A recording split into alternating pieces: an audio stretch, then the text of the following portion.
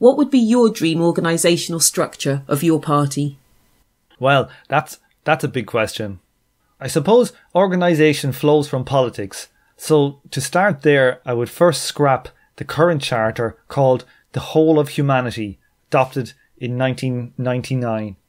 This laid out the political basis for watering down our socialism to moralistic gibberish.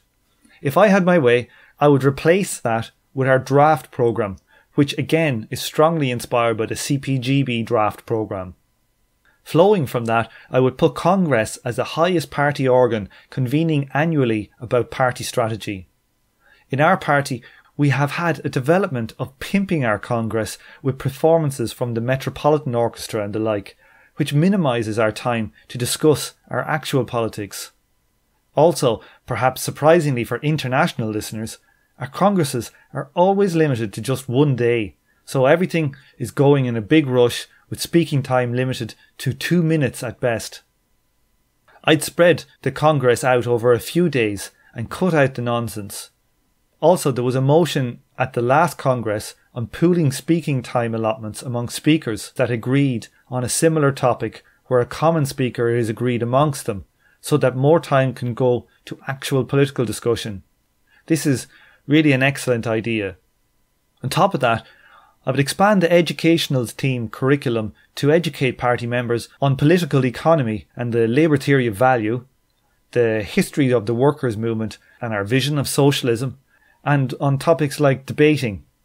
I'd also reform the party's publications, the Tribune and Spanning, to have critical discussion led by an editorial staff that aims to bring in experts and gives room to dissenting views. I would also focus on building and strengthening the workers' movement. The Socialist Party has, has no organised work in the trade union movement. That's going to start. We make them into schools of communism.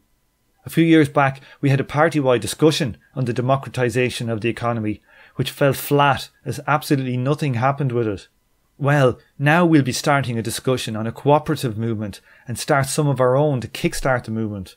We'll build up our social culture by having community centres, walking clubs, sports clubs, you name it. The last thing I would mention here is that I would use the party's resources to build up our own media network. We can do a daily paper, so we should. We can actually get state funds to start a public broadcast, so why the hell aren't we?